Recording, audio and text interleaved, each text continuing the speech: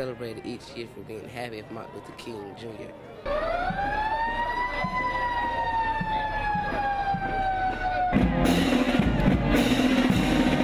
It's fun to see different communities come together to celebrate celebrate Martin Luther King.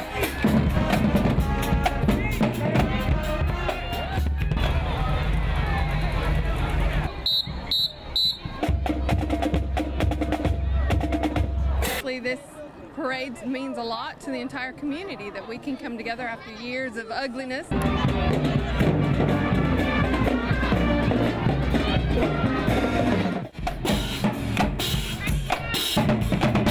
It was just a lovely day uh, for the community to be as one.